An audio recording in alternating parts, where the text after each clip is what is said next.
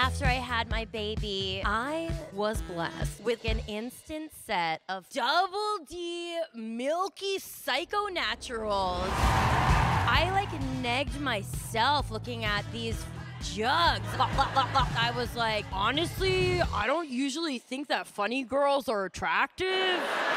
But like, you've caught my attention tonight, girl.